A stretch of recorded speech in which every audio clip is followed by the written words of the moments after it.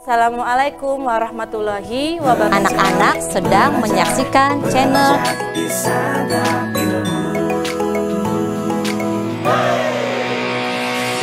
Belajar di santap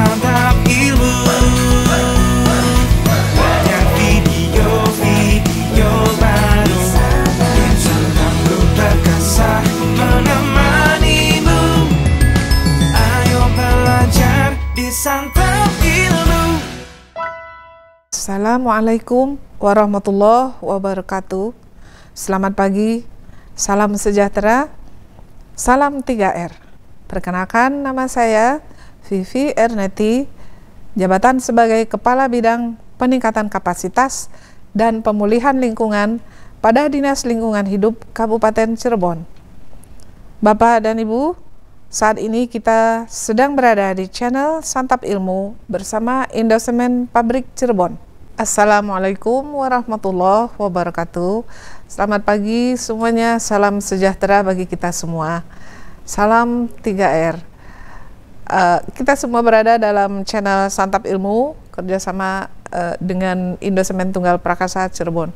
Bapak dan Ibu yang saya hormati, kali ini kita berkenalan dengan kebijakan pemerintah tentang penanganan uh, sampah di Kabupaten Cirebon khususnya. Sebelumnya kita harus tahu bahwa kondisi Kabupaten Cirebon yang terletak di bagian timur Provinsi Jawa Barat dan juga dalam posisi, posisi strategis di wilayah pantai utara Laut Jawa. Uh, sebelah timur langsung berbatasan dengan Provinsi Jawa Tengah, kemudian di sebelah barat berbatasan dengan Kabupaten Majalengka dan Indramayu. Selanjutnya di sebelah utara Kabupaten Indramayu, Kota Cirebon dan Laut Jawa. Kemudian di sebelah selatan berbatasan dengan Kabupaten Kuningan dan Kabupaten Majalengka. Sehingga hamparan luas wilayah Kabupaten Cirebon secara keseluruhan adalah sekitar 1070,29 km persegi yang memiliki wilayah administratif 40 kecamatan, 412 desa, 12 kelurahan, serta jumlah penduduk berdasarkan catatan dari BPS Kabupaten Cirebon di akhir 2022 sebanyak 2, 2 juta 315.420 jiwa. Jumlah penduduk ini merupakan uh, penghasil sampah. Ya, ini kondisi persampahan di Kabupaten Cirebon secara keseluruhan rata-rata satu orang menghasilkan setengah kilogram sampah per hari. Sehingga timbulan sampah di Kabupaten Cirebon sehari bisa mencapai 1,250 ya 1250 ton sampah per hari dihasilkan. Namun baru 250 ton per hari atau sekitar 200 persen, maaf, sekitar 20 persen yang dapat terangkut ke TPA yang bertempat di Gunung Santri. Lalu ke mana yang 1000 ton per hari sampah yang dihasilkan oleh masyarakat? Ternyata kondisinya ya banyak yang ditangani ditumpuk di tempat penampungan sementara. Bahkan yang lebih parah adalah dibuang ke saluran ya yang menyebabkan bau, kemudian polusi bagi tanah bisa menjadi media penyebaran penyakit dalam musim hujan malah mengakibatkan banjir. Sumber permasalahan sampah pertama tentunya dari penduduk. Kita semua tahu bahwa sampah dihasilkan oleh penduduk. Setiap kita setiap hari menghasilkan penduduk. Dengan bertambahnya penduduk, maka setiap hari bertambah juga volume sampah yang dihasilkan. Baik dari sisi volumenya, baik dari jenis sampahnya maupun karakteristik sampah. Kemudian berubahnya pola konsumsi masyarakat.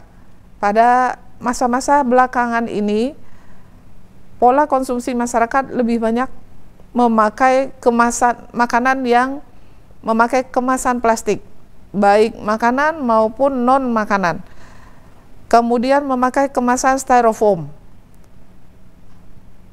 Kemudian contohnya ini kalau membeli produk makanan. Bagi ibu rumah tangga seperti membeli produk peralatan rumah tangga seperti sabun, minyak goreng, semua memakai kemasan plastik. Kemudian pola belanja. Warga lebih suka ketika disediakan tas belanja berupa kantong kresek daripada membawa sendiri tempat belanjaannya.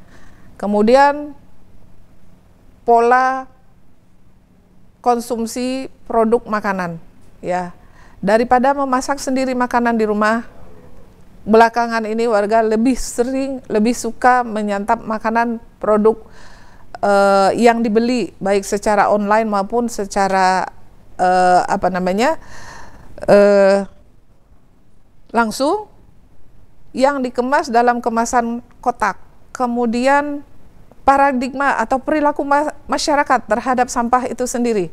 Bahwa selama ini yang berkembang adalah sampah itu harus dibuang. Sampah itu harus dibuang. Yang terbaik saat ini adalah sampah dikumpulkan dalam satu tempat.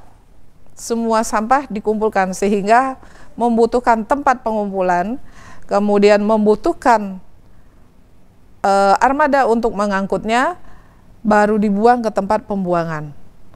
Kemudian permasalahan berikutnya adalah tingkat pelayanan sampah yang terbatas. Hal ini disebabkan dari terbatasnya sumber daya yang dimiliki oleh pemangku ya kebijakan. Misalnya salah satunya adalah terbatasnya jumlah orangnya, terbatasnya armada yang semuanya berawal dari terbatasnya anggaran untuk bisa menangani sampah di suatu wilayah. Selanjutnya paradigma yang masih berlaku tadi ya. Mari kita tinjau kembali doktrin yang pernah diajarkan oleh orang tua kita baik di sekolah bahwa sampah harus dibuang walaupun membuangnya di tempat sampah, tetapi sampah masih harus dibuang. Dan pada kenyataannya, masyarakat kita banyak yang membuang sampah malah tidak pada tempatnya. Nah, ini paradigma selanjutnya. Kemudian permasalahan selanjutnya adalah terbatasnya lokasi pembuangan akhir. Kemudian Permasalahan selanjutnya adalah pemrosesan akhir sampah di TPA belum sesuai ketentuan. Selain terbatasnya anggaran, proses atau penanganan sampah di tempat pembuangan sampah masih belum sesuai dengan ketentuan penanganan sampah yang sehat dan yang seharusnya kita lakukan. Selanjutnya adalah permasalahan pengelolaan sampah. Tadi sudah kita bahas bahwa kurangnya kesadaran masyarakat dalam pengurangan dan penanganan sampah. Ya.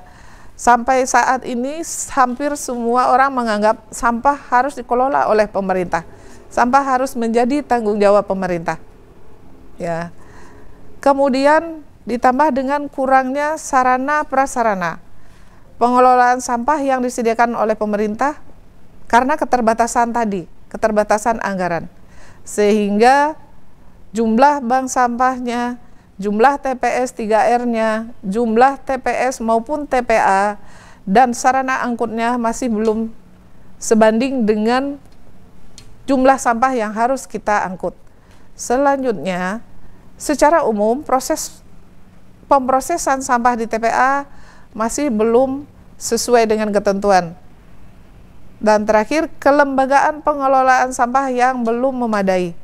Minimnya anggaran yang dialokasikan oleh pemerintah daerah setiap tahunnya untuk pengelolaan sampah masih belum memadai, masih belum memenuhi kebutuhan sebagaimana yang dibutuhkan oleh uh, ke kelompok atau lembaga pengelolaan sampah, termasuk kemandirian ataupun kesadaran bahwa sampah harus dikelola secara mandiri. Undang-Undang nomor 32 tahun 2009 tentang perlindungan dan pengelolaan lingkungan hidup pada pasal 65 ayat 1 menyatakan setiap orang berhak atas lingkungan hidup yang baik dan sehat sebagai bagian dari hak asasi manusia. Setiap orang harus tahu bahwa lingkungan yang baik, lingkungan yang sehat, bebas dari sampah, bebas dari polutan adalah hak asasi manusia. Setiap orang ber, berarti berlaku bagi semua, baik tua maupun muda, baik orang biasa maupun pejabat. Ya. Tidak ada kecualinya. Selanjutnya di ayat 4 Undang-undang ini mengamanatkan setiap orang berhak untuk berperan dalam perlindungan dan pengelolaan lingkungan hidup sesuai dengan peraturan perundang-undangan. Ya, setiap orang harus memberikan perannya untuk menghasilkan lingkungan yang sehat. Setiap orang berhak melakukan pengelolaan lingkungan hidup supaya layak untuk menjadi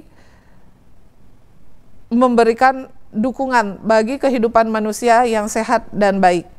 Dan pada pasal 67 undang-undang ini mengamanatkan setiap orang berkewajiban memelihara kelestarian fungsi lingkungan hidup serta mengendalikan pencemaran dan atau kerusakan lingkungan hidup. Ini berarti setiap orang juga wajib berperan untuk memelihara kelestarian lingkungan hidup. Memelihara supaya lingkungan tidak tercemar. Memelihara supaya lingkungan tidak rusak. Ini adalah amanat undang-undang yang sudah dicanangkan di tahun 2009.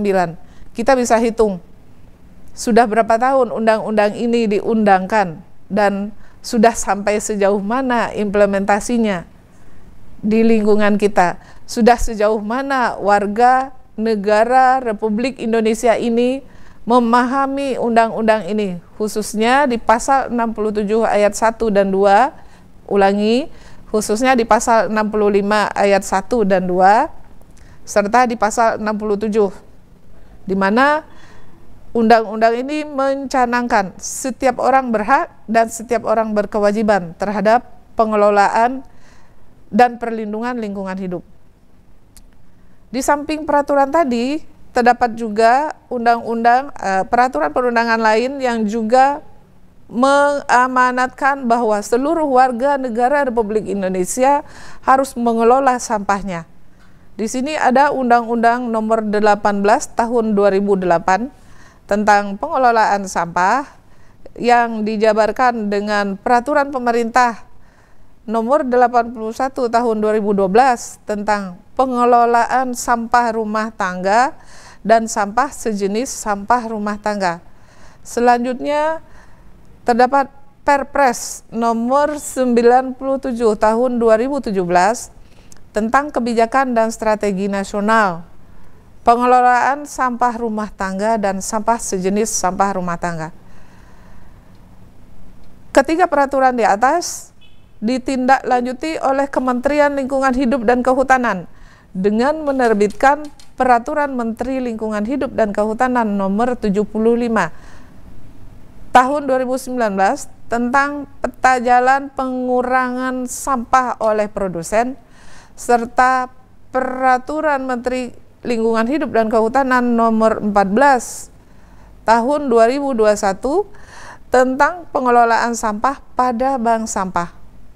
Dan khusus untuk Kabupaten Cirebon sendiri, pemerintah Kabupaten Cirebon sudah menerbitkan Perda nomor 5 tahun 2022 tentang pengelolaan sampah. Menurut Undang-Undang nomor 18 tahun 2008, paradigma pengelolaan sampah diatur dengan paradigma baru yang disebut dengan 3R. Kita semua tahu 3R ini merupakan singkatan dari reduce. Di sana berarti bahwa kita harus membatasi. Kemudian reuse, menggunakan kembali. Dan terakhir recycle alias daur ulang. Kita olah supaya sampah ini tidak dibuang. Kenapa harus dirubah paradigmanya? Ya, selama ini paradigma lama yang selama ini kita anut bahwa pengelolaan sampah ada di ranah hilir untuk menghasilkan uang. Namun yang terjadi sampah menjadi masalah. Ya. Ini harus dirubah supaya sampah berubah menjadi uang, maka pengelolaan sampah ada di ranah hulu. Pengertiannya ranah hulu adalah sampah harus dikelola oleh produsen sampah itu sendiri. Jika produsen sampahnya rumah tangga, maka rumah tanggalah yang harus mengelola sampahnya. Beda dengan pengelolaan sampah di ranah hilir, ini berarti bahwa pengelolaan sampah ada di tempat pembuangan sampah oleh orang-orang yang ditentukan atau ditunjuk untuk mengelola sampah. Sementara pengelolaan sampah di ranah hulu setiap orang yang menghasilkan sampah harus mengelola sampahnya. Ya, mau dibuangkah atau mau dijadikan uang. Nah, kenapa harus demikian? Pengelolaan sampah konvensional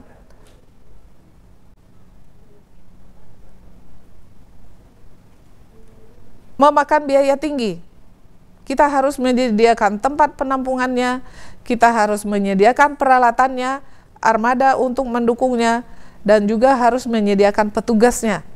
Sementara tren masa depan, pengelolaan sampah di ranah hulu, di ranah produsen sampah, artinya dari setiap orang yang menghasilkan sampah harus mengelolanya, ini akan menghemat biaya, akan terjadi efisiensi biaya. Kita tidak perlu menugaskan orang lain untuk mengelola sampah kita kita tidak membutuhkan armada yang banyak karena sampah kita sudah diolah terlebih dahulu dan yang berhasil dibuang, yang akan dibuang sampah sudah tereduksi, sudah dikurangi. Tidak perlu membutuhkan armada banyak, tidak perlu membutuhkan eh, lahan yang luas, tidak lagi membutuhkan biaya otomatis. Sehingga prinsip pengelolaan sampah dengan reduksi, reduksi atau pencegahan, e, reuse atau penggunaan kembali dan daur ulang atau recycling, kemudian e, pemanfaatan dan pemrosesan akhir sampah akan me membuat efisiensi anggaran akan mempermudah penanganan sampah di masa-masa yang akan datang. Selanjutnya, pemerintah menurut Undang-Undang Nomor 18 Tahun 2008 ini memiliki kewenangan. Kewenangan ini dibagi antara kewenangan pemerintah pusat maupun kewenangan pemerintah daerah. Pemerintah pusat diberi tugas untuk menetapkan kebijakan dan strategi nasional. Diberi tugas berikutnya adalah untuk menetapkan norma dan standar norma, standar prosedur, dan kriteria pengelolaan sampah. Pemerintah pusat harus memfasilitasi dan mengembangkan kerjasama antar daerah, kemitraan, dan jejaring dalam pengelolaan sampah. Kemudian pemerintah pusat harus menyelenggarakan koordinasi, pembinaan, dan pengawasan kinerja pemerintah daerah di bawahnya dalam mengelola sampah. Kemudian pemerintah daerah, ulangi, pemerintah pusat harus menetapkan kebijakan penyelesaian perselisihan antar daerah terkait pengelolaan sampah. Berikutnya, kewenangan pemerintah provinsi. Kewenangan yang pertama adalah menetapkan kebijakan dan strategi pengelolaan sampah sesuai dengan kebijakan nasional. Artinya, pemerintah daerah provinsi diberi kewenangan untuk menetapkan kebijakan serta strategi selama tidak bertentangan dengan kebijakan dan strategi pusat. Selanjutnya, memfasilitasi kerjasama antar daerah dalam satu provinsi, kemitraan, dan jejaring dalam pengelolaan sampah. Selanjutnya, menyelenggarakan koordinasi pembinaan dan pengawasan kinerja kabupaten kota dalam pengelolaan sampah. Dan terakhir, memfasilitasi penyelesaian pengelolaan sampah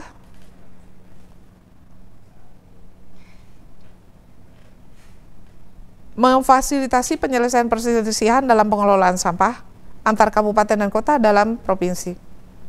Untuk daerah kabupaten maupun kota, kebijakannya kewenangannya adalah menetapkan kebijakan dan strategi pengelolaan sampah berdasarkan kebijakan nasional dan provinsi. Yang kedua, menyelenggarakan pengelolaan sampah skala kabupaten dan kota sesuai dengan norma, standar, prosedur, kriteria yang ditetapkan oleh pemerintah yang lebih atas. Berikutnya, melakukan pembinaan dan pengawasan kinerja pengelolaan sampah yang dilaksanakan oleh pihak lain di wilayah kerjanya. Berikutnya, menetapkan lokasi TPS, TPS terpadu, dan tempat pembuangan akhir sampah. Berikutnya, melakukan pemantauan dan evaluasi setiap enam bulan selama 20 tahun terhadap TPA dengan sistem pembuangan terbuka yang telah ditutup. Terakhir, menyusun dan menyelenggarakan standar pengelolaan sampah sesuai dengan kewenangan yang dimiliki oleh pemerintah kabupaten.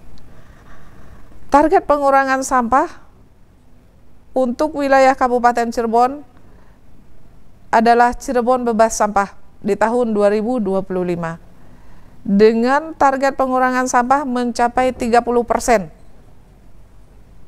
Ya, hanya 30 persen sampah yang dikirim ke tempat pembuangan akhir. Bagaimana teknik pengurangan sampah tersebut dilakukan? Pertama dengan pembatasan. Pembatasan atau reducing. Kita mereduksi penggunaan produk yang akan menimbulkan sampah.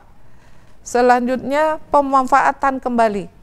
Kita manfaatkan kembali barang-barang yang bisa dipakai ulang. Berikutnya kita daur ulang. Ketika tidak bisa dimanfaatkan kembali, tidak bisa kita batasi penggunaannya, maka kita pikirkan jalan keluar melalui daur ulang. Kita rubah, kita olah untuk bisa dimanfaatkan lagi. Penanganan sampah secara tu yang menangani sampah sebanyak 70 persennya kita tangani dengan metode pemilahan kita mulai pemilahan dari rumah. Kita mulai pemilahan dari diri sendiri. Di mana pun kita berada, kita mulai pemilahan sampah dari sumber sampah itu sendiri. Jika sampah dihasilkan hasil dari uh, proses industri, maka sampah pun juga harus dipilah di perusahaan sebelum dilepas ke alam terbuka. Kemudian, penanganan berikutnya adalah pengumpulan. Sampah yang tidak berhasil kita gunakan kembali, tidak bisa kita daur ulang, tidak bisa kita kurangi, tetap harus dibuang dalam bentuk residu sampah, kemudian harus dikumpulkan untuk diangkut menuju tempat penampungan akhir. Ya, mungkin sampah kita tempatkan di tempat pengolahan dan diproses. Ya, ini bisa kita pakai metode penanganan sampah, model bank sampah, atau penanganan sampah oleh kelompok-kelompok pengolah sampah akhir. Berdasarkan Perbub nomor 44 tahun 2020 tentang kebijakan dan strategi daerah penanganan sampah rumah tangga dan sampah sejenis rumah tangga sampah sejenis sampah rumah tangga bahwa di sana disebutkan sampah harus dikurangi sampai dengan 30% dan ini menjadi target, target Kabupaten Cirebon untuk mencapai penghargaan setingkat adipura dari pemerintah pusat. Bapak dan Ibu, para audiens, pengurangan sampah bisa kita lakukan dengan membatasi penggunaan kantong plastik. Kita bisa membatasi penggunaan barang atau kemasan yang dapat mencemari alam. Mari kita gunakan barang dan kemasan yang dapat diulah, diolah atau terurai melalui proses alami di alam bebas sehingga tidak mencemari alam. Kemudian kita bisa menggunakan metode daur ulang recycle sehingga sampah menjadi berguna melalui proses pengolahan. Selanjutnya, sampah kita gunakan kembali, baik untuk fungsi yang sama maupun berbeda, tanpa melalui proses pengolahan. Jadi bisa disimpulkan, penanganan sampah kita mulai dari proses pemilahan. Dalam kegiatan ini kami menghimbau, mulailah pemilahan dari diri sendiri.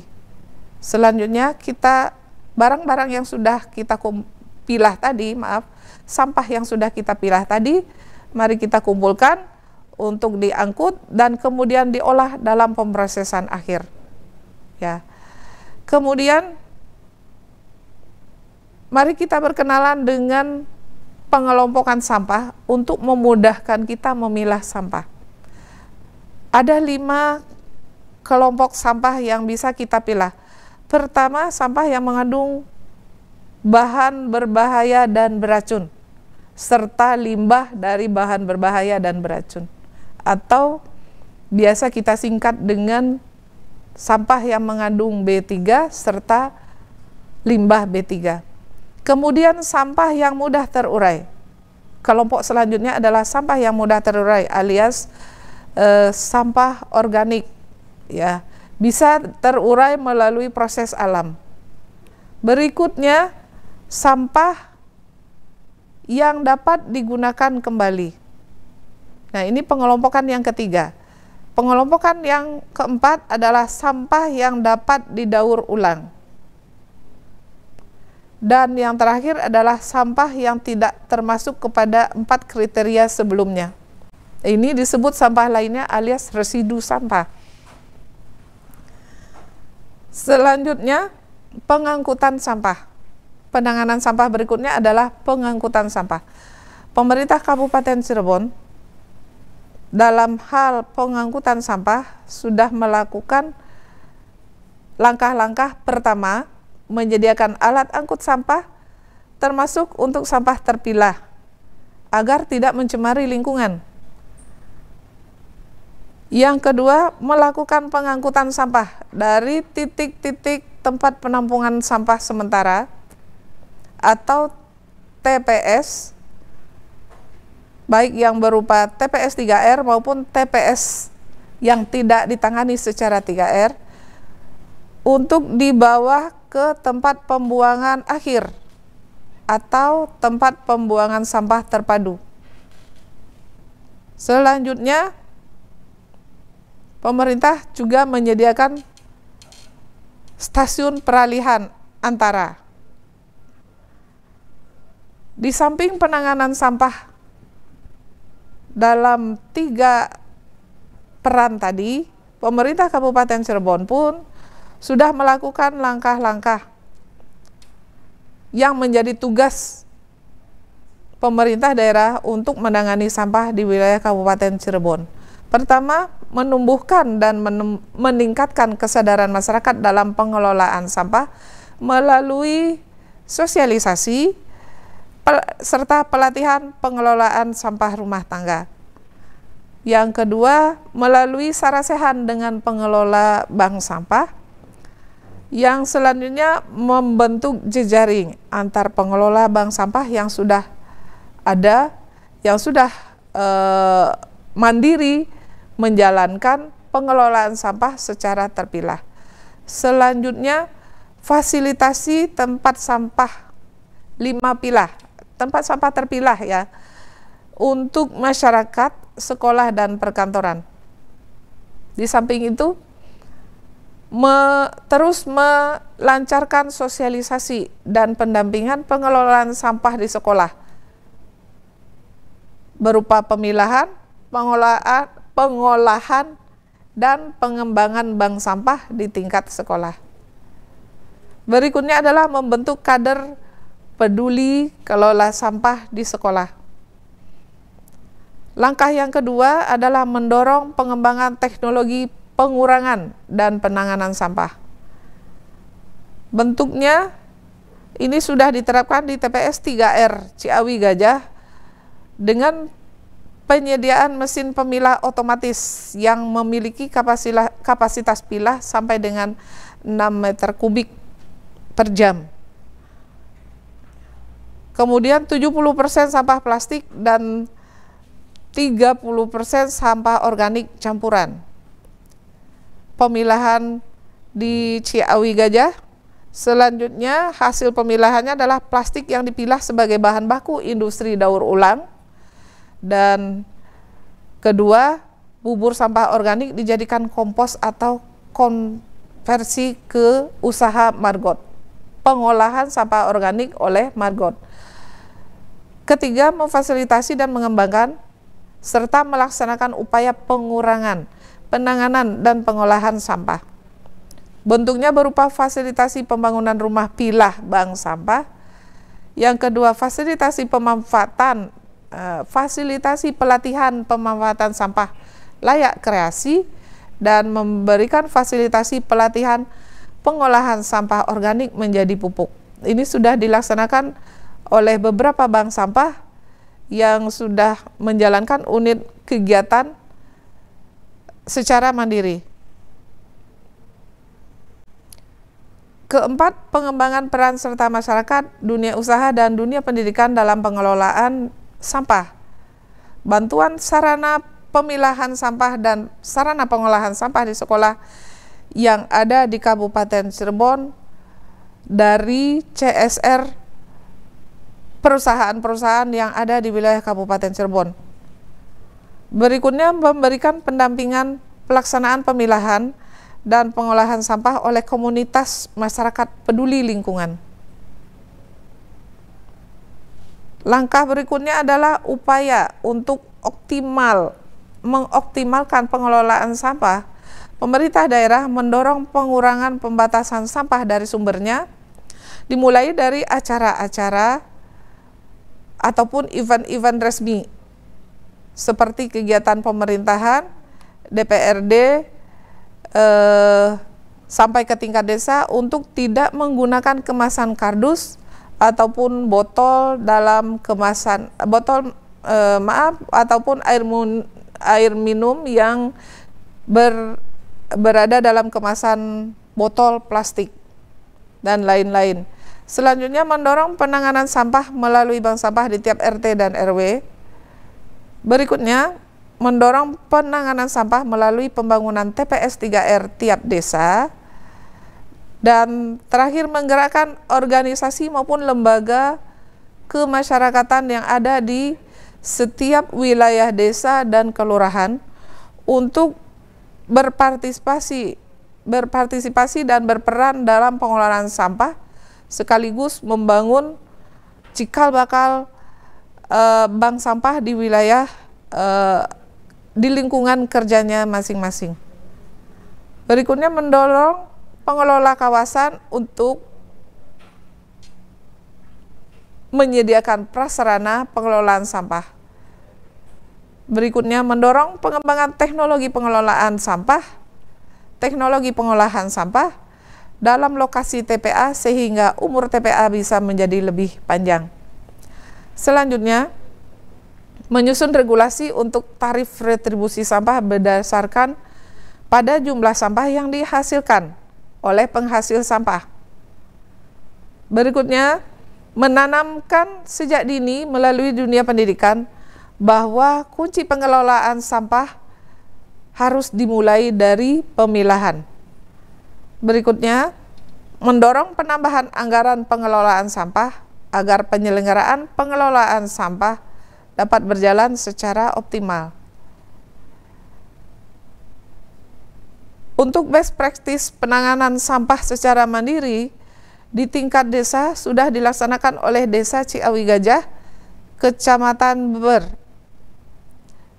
di mana pengelolaan sampah secara mandiri mereka sudah membangun, sudah memiliki bank sampah yang mampu meraup keuntungan ratusan juta rupiah dan ini dikelola oleh badan usaha milik desa.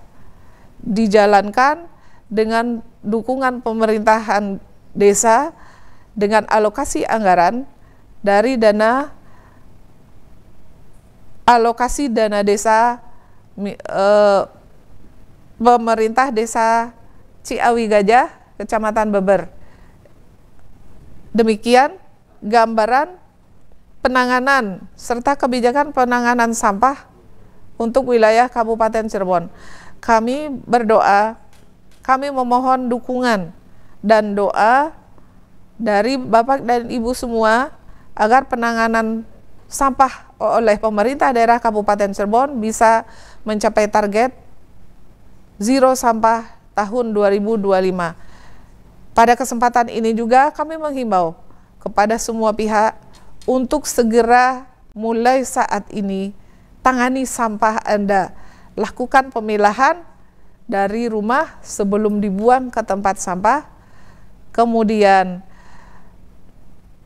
lakukan pengolahan sampah yang sudah dipilah dan lakukan saat ini juga tidak menunggu gerakan atau pencanangan oleh pemerintah. Tidak menunggu sampah menjadi lebih e, menjadi masalah yang lebih besar lagi bagi kita semua. Demikian dari kami atas nama pemerintah daerah Kabupaten Cirebon bidang PKPL Dinas Lingkungan Hidup Kabupaten Cirebon mengucapkan terima kasih atas perhatiannya. Kami tunggu implementasinya bersama Dinas Lingkungan Hidup Kabupaten Cirebon untuk memilah sampah saat ini dari rumah masing-masing, dari pribadi masing-masing. Demikian saya akhiri. Billahi taufik wal hidayah. Assalamualaikum warahmatullahi wabarakatuh. Assalamualaikum warahmatullahi wabarakatuh. Anak-anak sedang menyaksikan channel